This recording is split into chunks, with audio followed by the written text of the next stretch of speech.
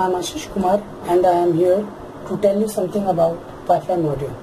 So I searched in the internet and found a great and fantastic Wi-Fi breakout or you can say development board that is ESP8266 Node MCU version 0.9 as you can see in there. Now this uh, little or you can say this ESP8266 Wi-Fi module can be programmed using your micro A type USB cable. Okay? So this micro USB cable is your phone and Android phone charger which can be directly get connected to your ESP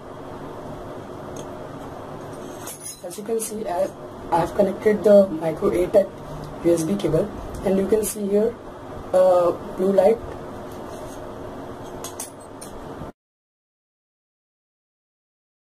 Now open the Arduino.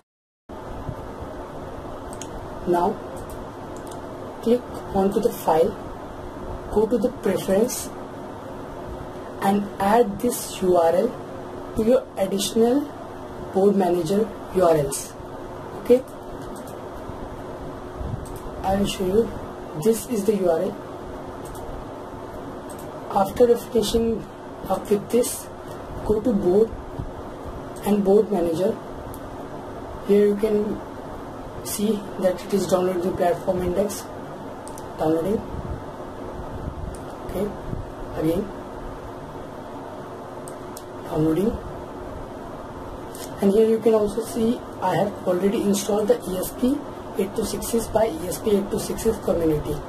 And the version installed is 2.3.0 okay you can install other versions also they are available. So after installing this onto your board manager you can see additional board managers. As you can see up here.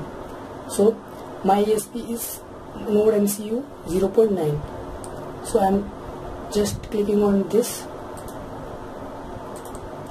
Now you can see here the additional options and you can see as I have connected the node MCU here and it has given me here the COM 7 okay.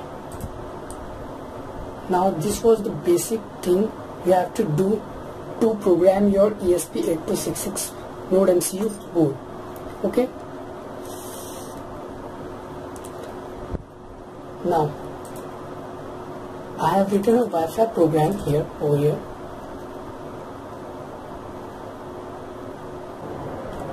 You can see here I have included an header file. These are the two constant characters that, that are SSID and password.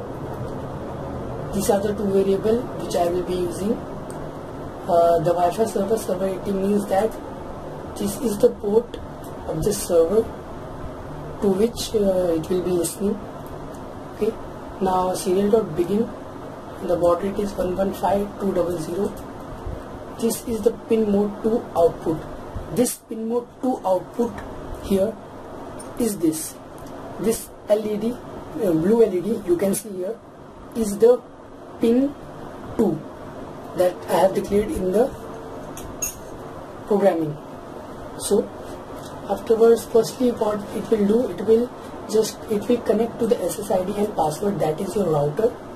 And uh, after getting connected to your router it will firstly check the Wi-Fi connectivity.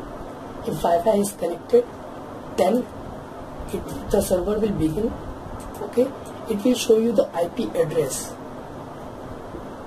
this IP address will be used to communicate with the server. Now this is the section where it will check whether the client is available or is being connected. After the client is connected it will wait or it will wait till it get the string from it. As soon as you send the string on it will on the LED and if you set uh, send the string off then it will off the LED in the that is the pin mode 2 okay? And if you send any other command than this it will give you an invalid request.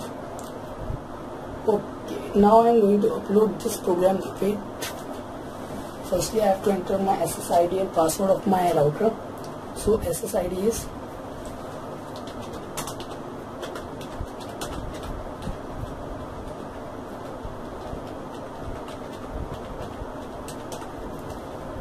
okay now I'm going to upload this program and you can see the behavior of the node MCU so now I'm going to upload the program by clicking on the upload button.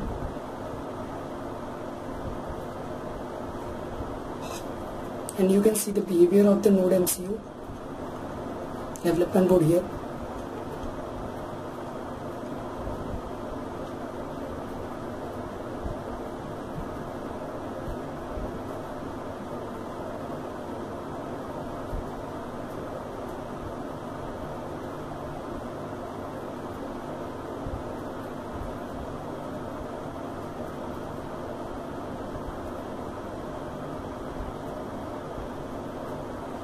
this tiny blue little light is flashing.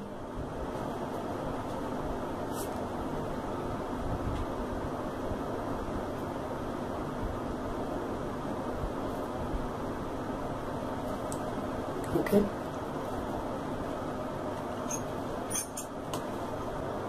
Opening the serial monitor you can see connecting to Ashish Kumar this is ID read now server has been started and the IP address assigned to me is 192.168.1.102 so now I will open the socket tester it's a software uh, that will act as a uh, client.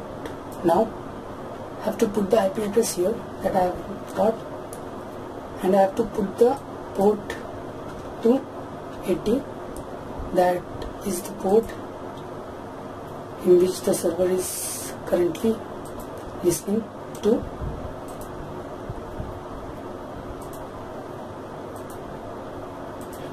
As you can see here a new client has been indicated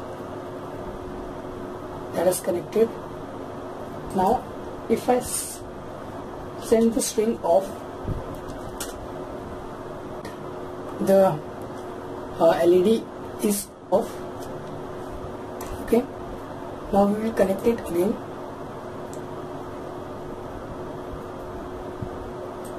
And send on.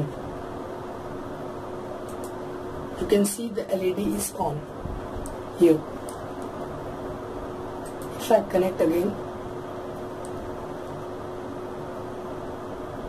And send any other string it will display it's an invalid request. So this was the basic demonstration of the node MCU how to connect it to a router and communicate with it using a TCP server socket. Thank you